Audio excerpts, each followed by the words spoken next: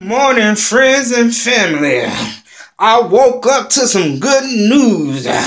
I woke up this morning, thought devastation was gonna be on our hands, that trouble was gonna be rumbling.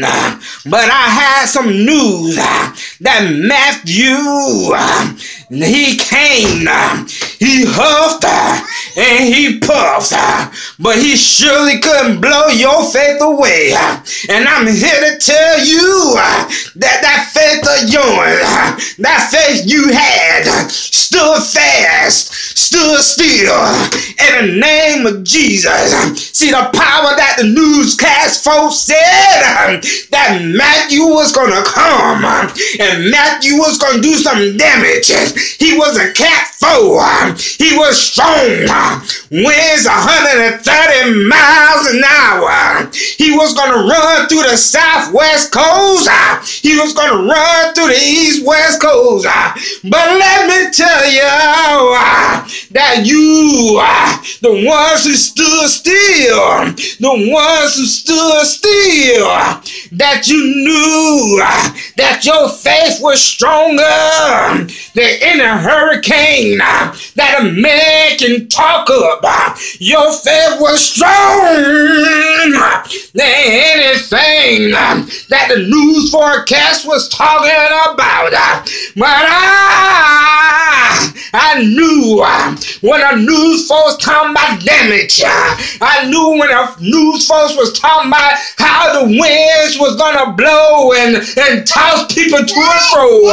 That the wind was stronger than any man. But I had a power. Power. Power called prayer. A man called Jesus.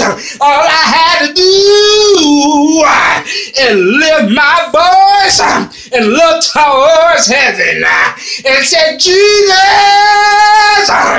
Jesus, Lord, hear my cry.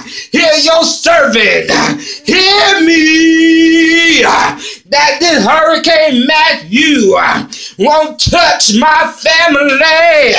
Wherever they lay their head, it won't be a scratch. It won't be a broken window. It won't be a branch off the tree. Yes, I did. I tarried.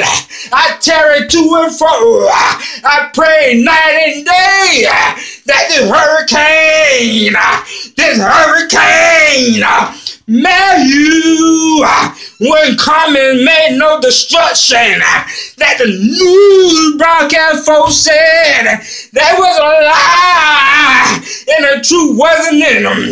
Cause I know a man, uh, my hand in a man, in a man of hand, Jesus, Jesus. He turned Matthew, ah, he turned Matthew around.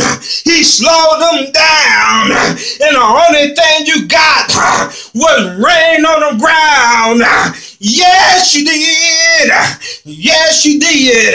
Power might be in there for a little bit. You might have a little shaking windows, but your soul, your soul still breathe. Your soul still on this earth. Yes, it is. If I got any witness out there, let the church say yes. Yes. Yes. And amen and amen.